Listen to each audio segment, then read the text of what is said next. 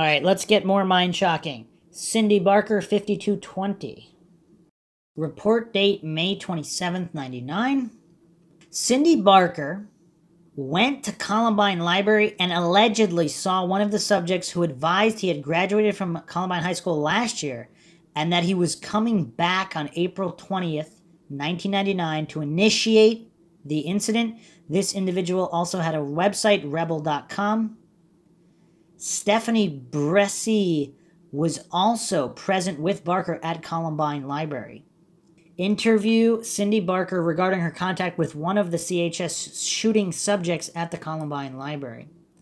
Barker was interviewed on May 25th, 1999, at her residence in the presence of her mother.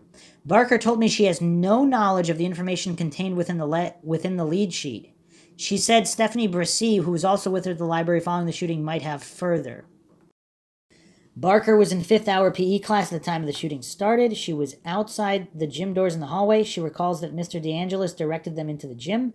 She recalls seeing smoke in the hall and that students hid in an equipment closet for 10 or 15 minutes. Then they went out the back gym doors and ran into the park. After that, they went to the Columbine Library. No further information.